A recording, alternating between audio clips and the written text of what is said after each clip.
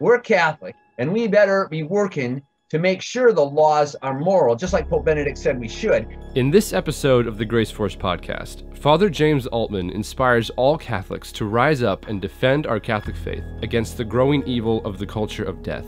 And that means we better be speaking up and speaking out in the public sphere, which has always been the case since the founding of this country. Join us on the Grace Force podcast.